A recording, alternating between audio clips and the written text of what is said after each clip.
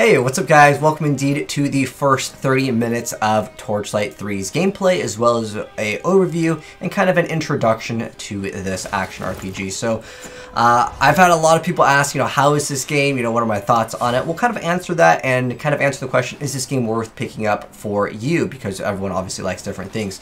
So first off, these are the class choices. I'm going to go ahead and move my camera out of the way over here.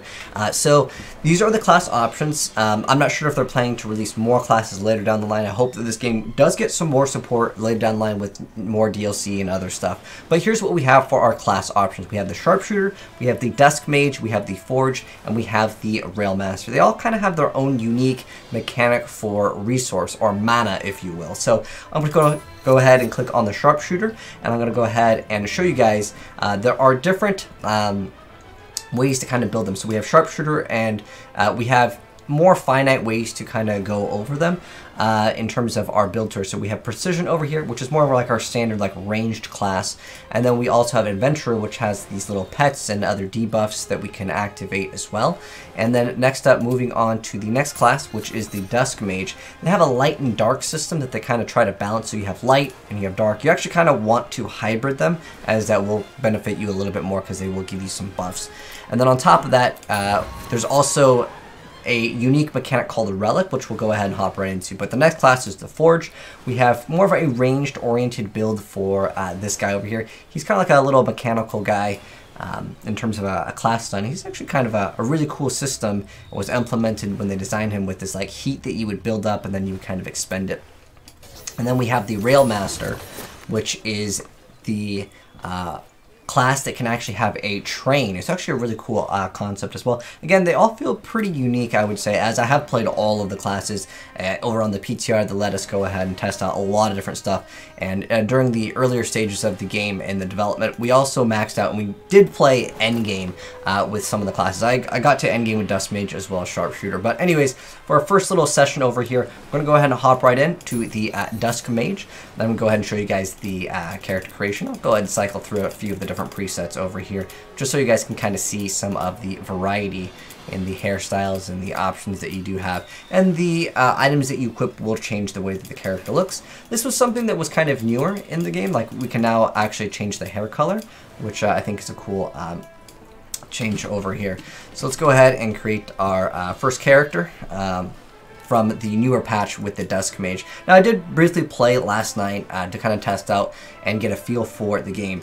Now, every class uh, will be able to select the exact same relics, but you can only choose one. This is a system that did get changed later down the line. Before you could swap to any relic that you wanted to. You can actually get a max relic and put it on a level 1 character, but uh, you can no longer uh, do that. They're picked at the start. So this is basically a separate skill tree. One uh, criticism this game did receive heavily by the community was its lack in the amount of the um, diversity department via the skill tree, because basically each class has two skill trees. Each one of the skill trees has seven skills, and you will be able to get to 70 skill points and you might be thinking, well, I just can go ahead and just like max out, um, you know, all, all the trees. Well, there's this uh, new relic system in place where um, you're gonna have to level this up if you want to. I recommend leveling up. So we have, we have poison, we have like a bleed, we have a freeze, and we have electrocute, and we have a fire build. I won't go over every single one. They are mostly the same in the sense where uh, a lot of them will be having the exact same effect, but it'll be like via flame. So,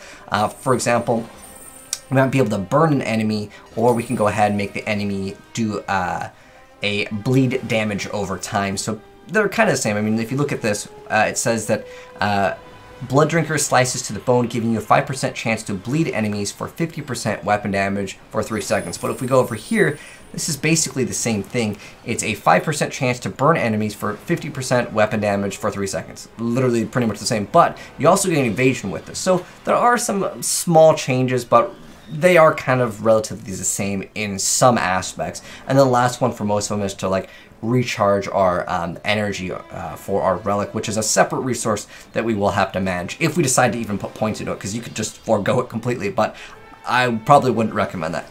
Anyways, I'm going to go ahead and go with fire, and we're going to go ahead and hop right in and uh, play the game. And I'll give you guys uh, some, uh, you know, uh, introduction to the game as far as uh, mechanics, uh, what makes this game different than any other action RPG.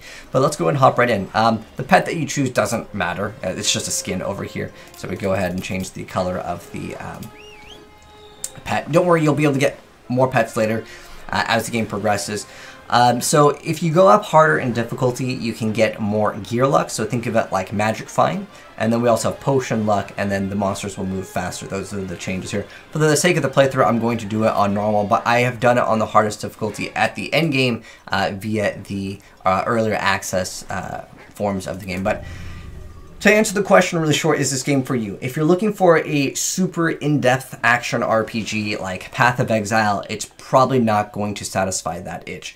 If you're looking for a very light, casual game, I could say that if you're okay with kind of completing the campaign and then exploring a little bit of the end game, uh, it can definitely be there for I think some people if you want to spend you know 20ish hours into a game and you're satisfied.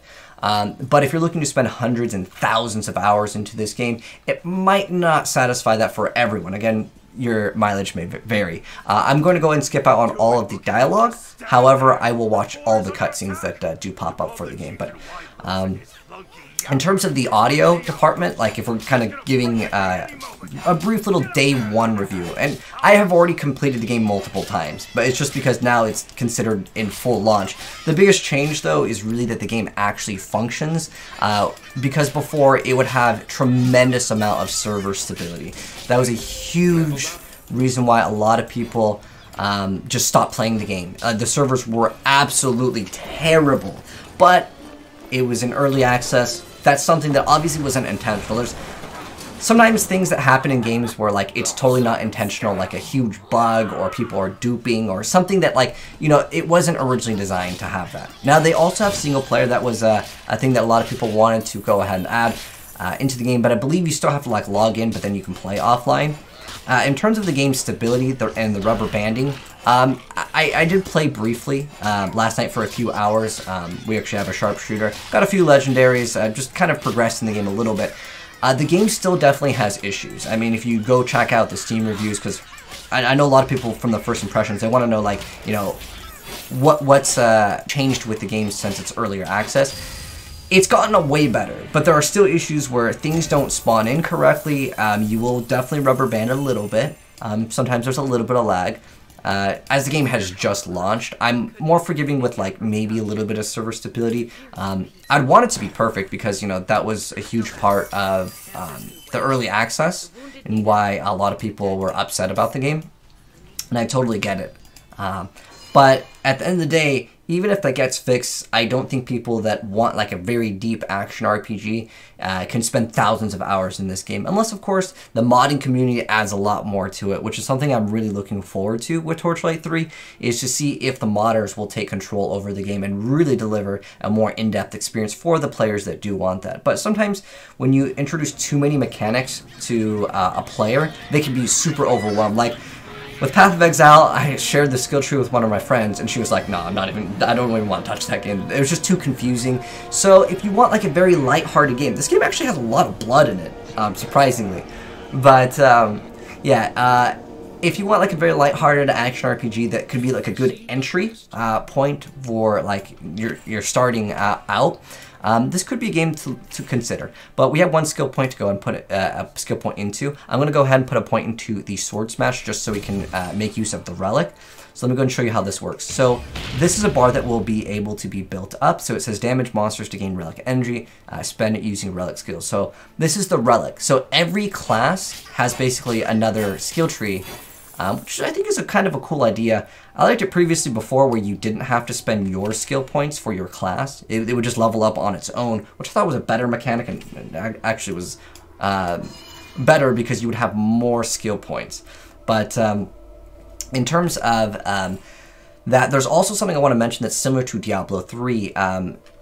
Which is similar to the Kanai's Cube. So they're called the Legendariums. We'll, we'll, unlock this at level 3. But what it is is basically any legendary that we've gotten, uh, we're going to be able to go ahead and just have the legendary ability. Um, and then in addition to that, um, we'll go ahead and check out if we got an item that has more damage as um, we can just simply do more damage.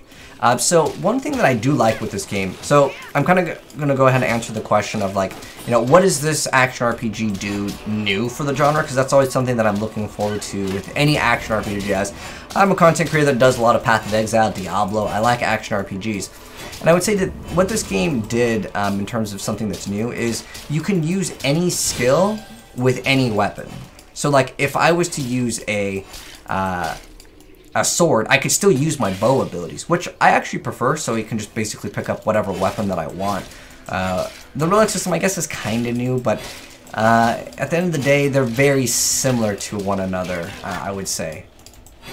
Um, the, the electric one used to be really insane, and you could have over 100% crit at all times, pretty much, if you're able to get enough cooldown.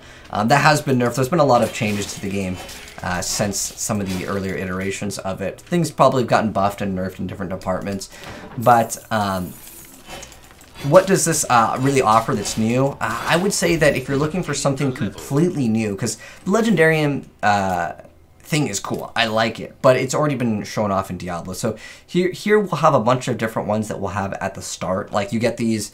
I'm not sure if it's because I played in the uh, earlier access that I have some of these unlocked, but it, when I first started uh, the early access, these were already unlocked anyways. Um, you might not have like Woods Beast gloves because like I said, I played the, the game for a few hours just because I wanted to check out server stability. Um, before hopping back into the game. Originally, I was going to plan to do a full playthrough, but right now I'm just going to do like an introduction to the game, and then I'll show you guys more endgame content uh, later down the line. So if you are new here and you do want to check that out, subscribe and turn on the bell, and you'll see more Torchlight 3 content, as I do want to just kind of see if they've really changed anything. But as far as the endgame goes, it's basically uh, maps from PoE. You just go ahead and go to these dungeons, and they'll, they'll have some type of modifier that you can select from a few of them, and you'll have some type of negative effect, but you'll obviously have better rewards as you progress. I'm going to go ahead and select Quicksilver, because that just grants us extra movement speed. So in terms of an action RPG, there's a lot of things that I would consider backwards and just a little bit different for, I guess, the reason of just being different. Huge, huge thing that um, I just don't understand why this is in the game. You cannot bind your left click to move only.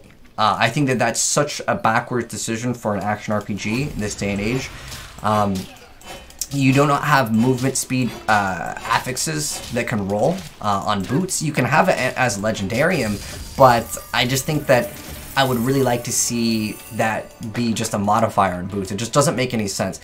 Um, because one of the guys that worked on this game did work on Diablo 2, I, I feel bad because so many uh, part of the criticisms are like, Diablo 2 had this, why doesn't this game have it? I, I, I get it. I but the, the specific thing that I think is just so backwards in an action RPG in terms of game design is that you need movement speed as a modifier on your boots in an action RPG. It, it just should be a thing. Um, unless they have they have actually added that because again I, I completed the entire game multiple times uh, over on um, the earlier access variants of this game and uh, I just think that it should exist. Oops, uh, we actually have to go ahead and actually finish this quest up over here. But in that, we probably got some new items to go ahead and equip. And I can still cast all of my skills. Um, let's go and get a, uh, another skill over here. We'll get a dark skill. Uh, we have one skill point above. We'll put it into dark spears. So the first quest is just to go ahead and activate these things on the mini-map. You'll see one thing that I, I did notice, and I, am noticing it again still, um, is there are sometimes quest markers where like, you see where like that, that thing just disappears. I don't know why the quest markers disappear.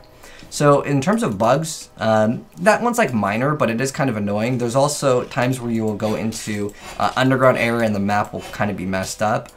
So this game definitely is not like in what I would consider finalized and perfect, no. There are still times where bosses won't spawn in. You could check the forums, um, or you can check over on Steam right now. Those things, they're annoying. Is the game still uh, what I would consider playable? A lot more playable than it used to be because uh, there were times where you'd go back, to, you'd hit your town portal, and you would warp to a completely different location. like, those things aren't intentional. Uh, you still can go to other people's, like, um, what's kind of like a hideout if you played Path of Exile. That mechanic um, still exists. I'm not sure why they have that mechanic implemented in the game. I think it's just so you see other people in the game, if that makes any sense. Uh, as this game was originally designed to be a free-to-play game, but that recently changed. Here's our uh, other ability for the uh, level up where the uh, spears just come out of the ground. It's kind of a cool ability. But it's a it's a very light action RPG. Um, Like, I would say this is a really cool game if you're, like, looking for a game to play for a little bit of time, maybe on the Switch or something. I could definitely see this game being appealing to uh, more of the casual audience. But, again, to answer the question, is it worth picking up? I think, it, I mean, okay, let's go over like the pros of the games, and let's go ahead and go over the cons of the game. So the pros of this game, it's got Matt Uelmen. He's the guy that did uh, the Diablo soundtrack from the previous Diablo games. I think he did a fantastic job in the audio department. In terms of the smoothness of the game, it's pretty decent. Like, things function properly for the most part in action RPG. And if you've played a lot of other action RPGs, uh, maybe even earlier access, well, this game had a lot of issues with lag, but lag aside, the game feels like pretty decent like in, in terms of it being relatively responsive on like the abilities, the abilities like uh, function properly. But in terms of depth, I would like to see a lot more. Um, even in the legendary department, uh, let me go and actually show you guys the legendarium um, department because I was really hoping that each class would get several different sets. Uh, but it basically is you have a few legendaries um, for each class, and then you have basically a legendary set, like one set. Um, how the legendaries work in this game, they're a little bit different. Hopefully we'll get one. If not, I can swap to another character and show you guys uh, how that mechanic works. But I just want to show you, like guys, like the introduction to the game, as well as like the, the mechanics over here. Um, but in addition to the level up system where you would just get a, a, skill, you also can put more skill points, and you'll see where it says uh, tier 1 bonus, which requires two more skill points, Every third cast fires a larger bolt that deals 50% more damage. And there's also a tier 2 bonus that says 20% light skill damage. Now, um, how that works is that will increase everything, even in uh, another department if it just said flat damage or cooldown reduction or something like that. Like this one is 30% damage for basic attacks. I don't even have to have that skill equipped or I have to attack with this ability first to activate that. And I think it's kind of a cool idea on their tree uh, over here. But uh, I just wanted to go ahead and, like I said, do a little short introduction uh, to the game. And then I'm going to go ahead and swap to another character so I can go ahead and show you guys like more skills and stuff and give you guys a little bit of variety in uh, my introduction to the game. But I wanted to go ahead and start off with the character creation so you guys can see like the very first level. Basically, you just go back to town and then you'll kind of progress here. But uh, this isn't like super late game, but I have played late game, so I feel like I can speak on like uh, some of the gameplay mechanics. So this is a sharpshooter. It's the like ranger class, if you will. We're just gonna go ahead and teleport over here. We'll kill some stuff, and I'll show you guys uh, how this um, class works. But yeah, as far as the pros go, um, it is technically a newer action RPG, so like I'm always looking forward to seeing new gameplay mechanics. But I would consider this a con. It doesn't really add anything new to the action RPG genre that hasn't already been designed. Like the endgame maps, that's already been done before, and it's kind of how actually most action RPGs are going to be going forward. Um, I don't think there is a loot filter in this game, which is kind of something. Most of the times you'll pick up things to level up your tree, um, which is a mechanic that will give you some magic find Now, This is on ridiculous difficulty, although it's not really that much harder. Let me go and actually show you this phase beast over here, which will go ahead and open up a door to a uh, little boss mechanic. And I'll show you guys the boss over here. So you'll see that this is a phase dungeon portal. It'll open a phase boss fight area level plus one. We have 100% life brown scroll luck revive in a town over here. So we'll go and hop in. I'll show you guys like a little boss. A lot of times you'll fight the same boss over and over again and it gets kind of repetitive to the point where some people just aren't interested in doing these. But they can have sometimes okay rewards. It's just, it takes a while to kill some of these guys as they have a very large HP pool. So I'm going to show you guys, uh, this is basically kind of like a, almost reminds me of like Righteous Fire. So it's just a, a fire AoE. It's one of my um, other skills that I have with my Fire Runner. But um, yeah, I hope that this game can get a lot of support from the modding community. Uh, and again, that's because I simply just want more depth to my game. But some people don't want that much depth in their game. They're happy with the way the, the game is in terms of like, they want it simple. And I, and I get that. Um, that's something that uh, a lot of people did or didn't like with Diablo 3. They felt like it was too simple. They wanted rune words. They wanted a lot more content. And I feel like for me, the more content that the game has, the better. Um, regardless if I interact with that content or not. Uh, whether it's a league mechanic or um, a, um, a way to kind of engage in some type of late game content. As again, this game's late, uh, late game content is just maps with a, a modifier. But we'll go ahead and eliminate him. You'll see we're just doing a lot of crit. Um, this, the plan for this build, uh, actually getting kind of low on HP, hopefully. can manage to take him out. I didn't notice we were out, out of potions here. Um, in this game, you don't have unlimited potions. They are drops. Uh, but you can buy them in town too, and I'll show you guys the town, and I'll show you guys more mechanics. I just want to go ahead and defeat like a boss so you can see what the rewards look like for this. But, I mean, the, the boss is relatively easy. Well, at least this is like the, this is an earlier boss. It obviously will get a little bit more complex as you progress. Okay, nice. We got a potion over here. Throw that on. So if I have this uh, ghost thing up, it'll make it so he no one can target me. But if I already activate my relic, uh, it's awesome because it's still going to do the relic damage uh, in the little like circle that's uh, around us. Yeah, we'll go ahead and eliminate this boss, and then I'll show you guys the town. Watch out for some of the uh, mechanics of like dodge. Don't stand where there's like a, a vibrant color, basically. Should probably need a pop-up potion pretty soon. As uh, if I get hit once once more, we could rip. Uh, as we're playing on ridiculous difficulty uh, for the, the extra magic plan. But honestly, I mean, it might just be in the early game, but I feel like you can definitely just play on normal and you'll be totally fine in terms of like getting better gear. It's just, I like the challenge. I'll also show you uh, another mechanic called Lifebound. Let's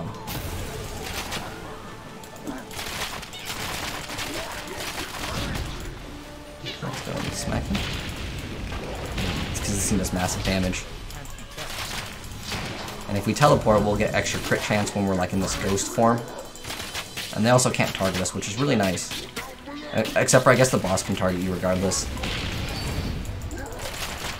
But you can see, they, they are pretty tanky. Um, until we get our, like, 100% crit, then we'll start melting things. Um, this video is obviously not like a build guide, but I do have a sharpshooter build uh, that I'll pin down below in case any of you guys want to check it out. It is absolutely insane. It like deletes bosses in like literally like one second. Potion. The down. He's almost gone. And we got him. All right. So the rewards for doing most areas, including the, the um, like dungeons and stuff, you'll basically get um, a loot from the boss. You'll get a boss chest over here, which, see if we get, no, no legendary fortunes, but I do have some legendaries already. And then you'll also get a pet. Now, let me go and show you the pet mechanic, because they also, we're just going to go set this pet home. So, um, obviously we have different skills because we're playing a different class here, because this is introduction uh, to the game. But, um, we also have a uh, separate um, amount of skills that we can go ahead and equip onto our pet. We'll unlock more as we progress, but you can have uh, three pet skills and one pet aura.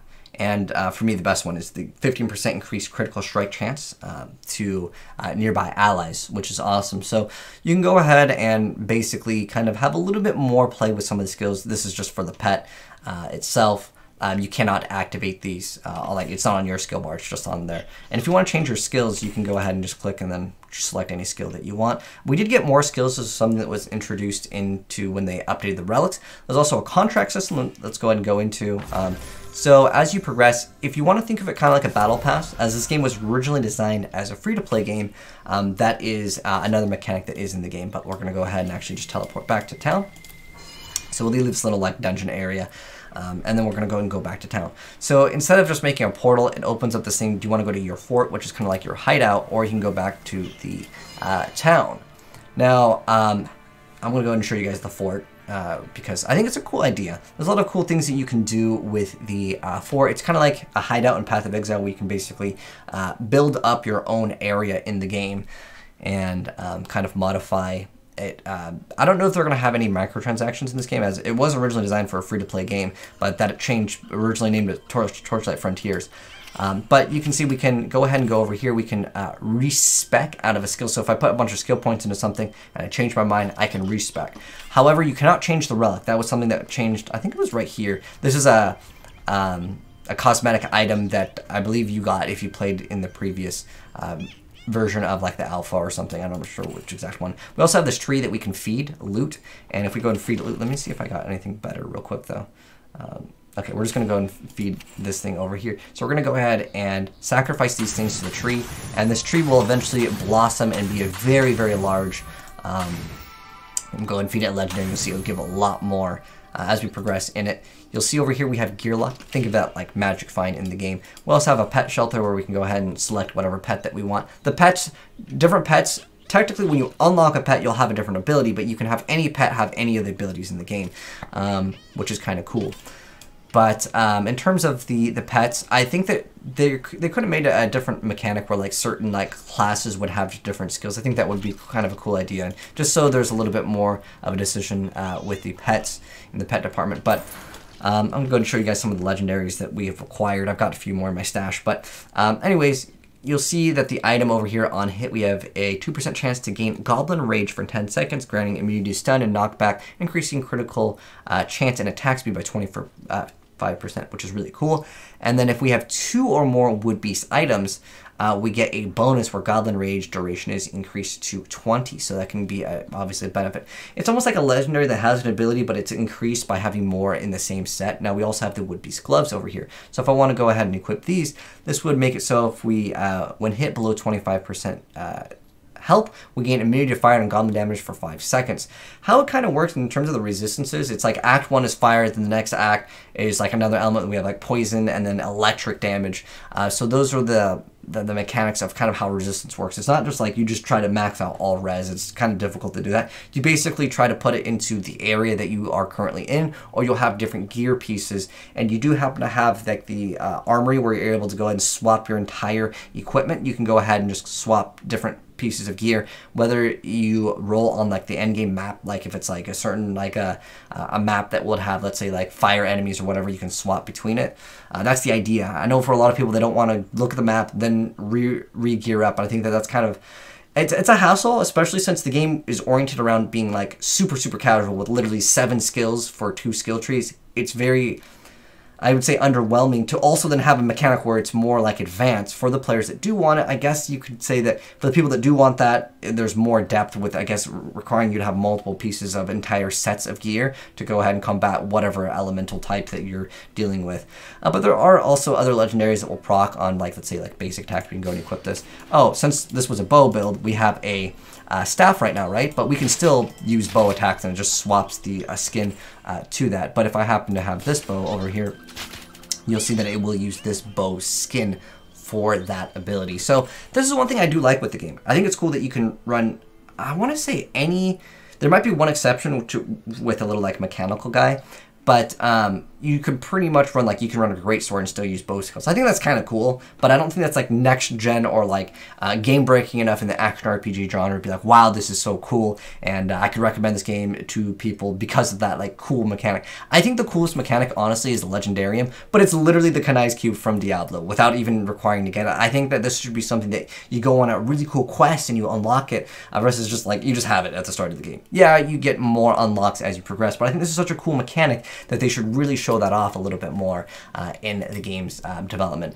But um, uh, this is, I guess, kind of like the newer game mechanic with Torchlight 3 is basically the system where they implemented in the uh, relics. And again, you cannot change your relic. Uh, I think you should be able to uh, later down the line uh, as a mechanic. Like that would be a good mechanic that they would introduce into the game because I think not being able to swap it kind of sucks because you have a passive skill that is only going to work on a very specific weapon. So this one over here works with a great weapon or a bow. It's not like if you want to use this, you if you want to play like um, bow that you have to go fire, but it's just that like uh, it's kind of something that like maybe someone really likes the idea of going for like that relic, but they see that the passive only works with a very specific weapon. It could discourage them, or maybe they're like, oh, dude, I went the wrong build or something. But honestly, it's usually procking on normal attacks anyways. So like this one, basic attacks have a chance to do this. Um, the other ones are basically the same. It's just procking like, you know, electric or cold or poison. They're very similar at the end of the day. So I wouldn't worry too much about that. But I think fire right now is really strong because uh, again, you get a lot more modifiers on like chance to hit to burn, and then on top of that, if they die while they're on fire, they can explode and do more damage. That's why I liked fire. But anyways, um, let's go ahead and hop back into town. Um, interesting enough, like when you go, uh, if I want to go back, I can basically uh, go to the travail point. But if I click over here, I'm going to go ahead and move my cam out of the way. You'll see that like I can go back to my town portal. It's a really backwards mechanic not to just, why not just have the portal that we can click on? Like for an action RPG, like I said, I know this. I'll sound like a broken record, but there's so many mechanics that were introduced into Diablo 2 that this game, I'm just like, why didn't you just like use the same mechanic? It doesn't need to be changed uh, with like, okay, you have to open up this to go back to your portal. Um, this interface, um, a lot of people were like, they wanted this game to be mobile. That's why like everything's so simple and stuff. And I think that the honest reason is probably because they wanted this to run on the Switch, but I just don't get why their portal isn't there, right?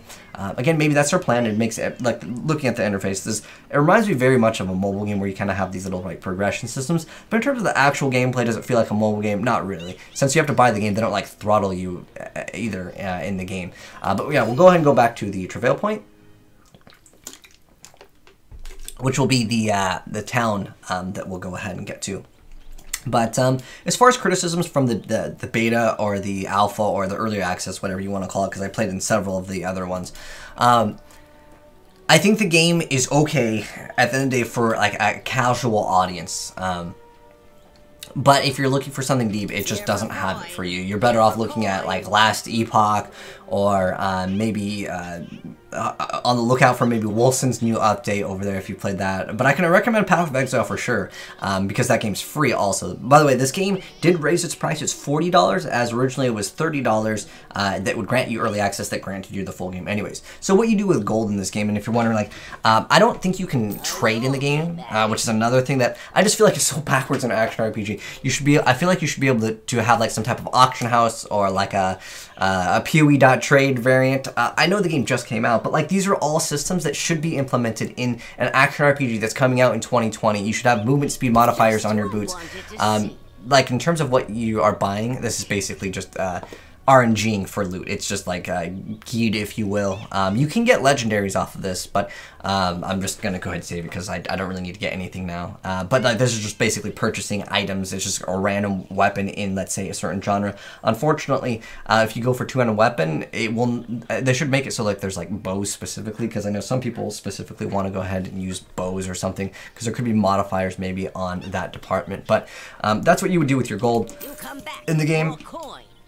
And uh, let's go and see if there's anything else I want to go ahead and go over. So you can see that, well, well, you can you can have you can invite your um, Steam friends and stuff. So the game does have multiplayer. I did play multiplayer uh, back in the alphas and stuff, um, and it, it, does function. Uh, but I, I, really think that they should have some type of auction house or some type of like implemented trade system in the game. And uh, I think that this game has a little bit of potential. I would say uh, maybe later down the line for some of the players that do want things. Mean, remember looking at Diablo 2 vanilla versus LOD, like that added so much. The thing that I'm kind of worried about with this game in terms of like if I'm kind of giving you guys like some feedback on uh, your decision making and purchasing the game, I hope this game gets a new expansion pack uh, that will revamp up the game, add like another skill tree for every single class. Um, I think what they really should have done, honestly, is made so you can basically select a subclass that would give you one out of two of the other trees for a different class, because then people would stop complaining about there's only seven skills in the skill tree, which I get it. Torchlight uh, 2 had 10 skills across three trees, where this game is two skills across, uh, or uh, uh, two skill trees across seven skills. I understand there's lack of content for some people in that department, uh, but I, I still think that this game was fun for the entire campaign. In fact, we did a full campaign playthrough if you guys would like to check it out. Uh, I'll pin it down below also. Like, I legitimately had fun for the, um, uh, the, 10-ish hours that I did play. Oh, look, someone wants me to join their party. Um, there is also voice chat in the game. I'm, I'm going to go ahead and uh, ignore that for now because I just want to go and play it at my own pace. Um, but like looking at the feedback that people are saying from the community, I'm going to pop open up the Steam page right here. It's at a 48%. And like, for me, I'm just super blown away because I feel like you know, you have someone that worked on Diablo 2. And again, I'm sorry, I hold Diablo 2 to such a high standard to, to where I feel like someone that worked on Diablo 2, how do you make a game that gets 48%? Um, if you, like, they, I feel so bad, but, like, the guy was celebrating, and the Twitter feed, like, because he's like, guys, the game's fine now, because this game just came out. That's why we're making this, like, uh, introduction to the game and, like, impressions of the game after it launched. He was really excited, and the comments were like, dude, bro, why are you celebrating? The game still needs to be fixed.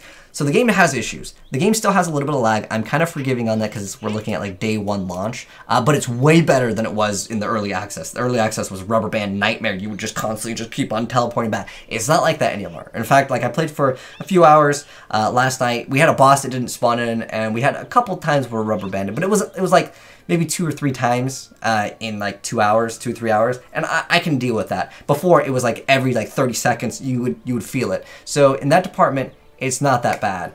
Uh, but in terms of depth, it's still lackluster in my personal opinion. And uh, a 48% definitely makes people go, whoa, there's something way wrong with this game. And I feel like it's just because so many people are upset that it's it's not it's not Diablo 2 standards.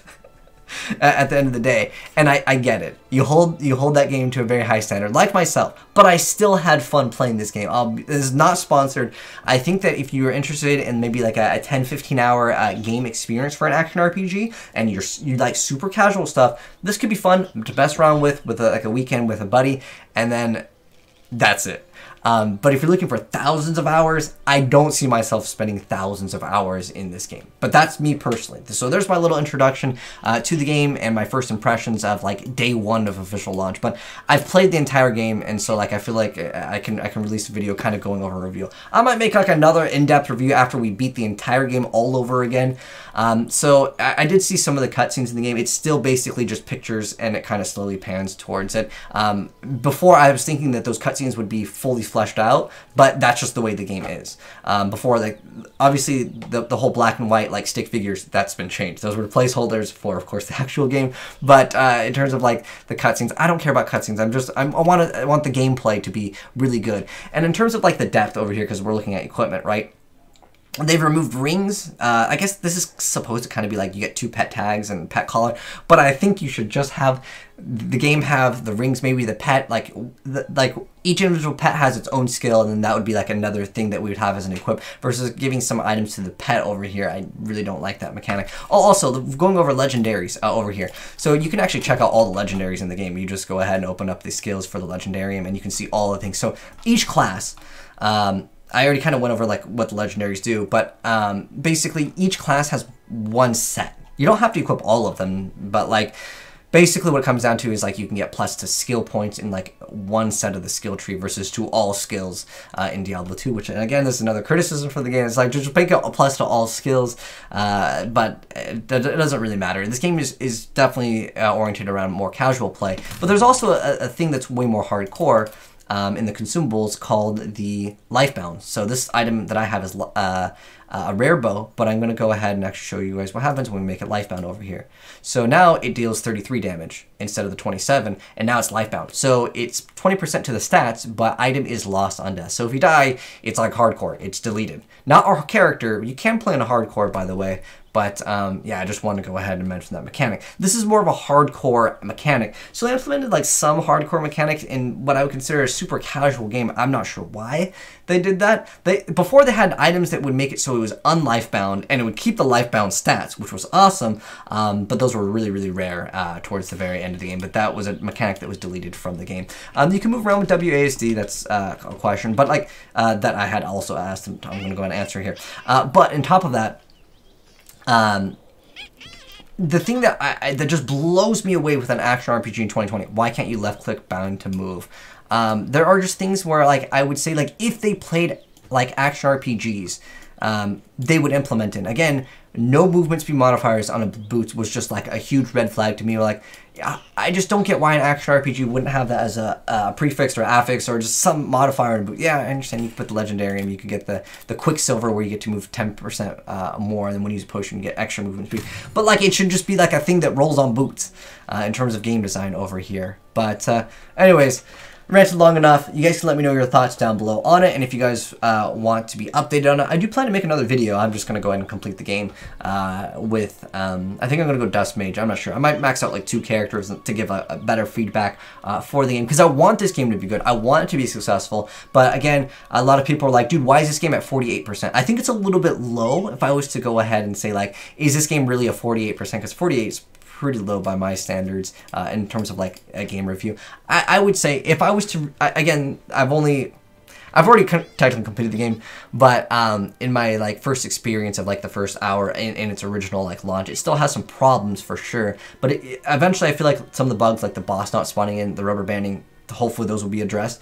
If all the things are fixed, I could see the game easily being like a I would say maybe a six or a seven out of ten if I was to like give the game a little of a review um, in its current state. Uh, and I just think that it, it's an okay game. Um, it just has a few rough edges that hopefully can be polished out with maybe an expansion pack, or if the modding community takes over. As Torchlight 2 was awesome with mods. Uh, obviously, the game just came out, so we're gonna have to wait for the mods. But I think this game with an expansion pack or the mod support, it can be really awesome. But till then, maybe hold off on the purchase uh, of the game. But that's my thoughts. You guys can let me know yours down below. But thanks for tuning guys. Hope you enjoyed the video. If you did, drop a like on it. If you're new here, subscribe, turn the bell for that to see more action RPG content as well as Torchlight 3 content because I'll, I'll, grind it out and we'll, we'll see what the um, uh, game feels like uh, on the end game with its live version. I'm guessing it's pretty much the same though, without the lag though.